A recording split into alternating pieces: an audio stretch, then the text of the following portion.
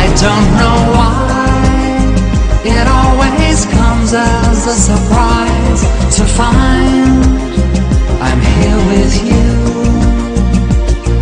You smile, and I am rubbing my eyes at a dream come true.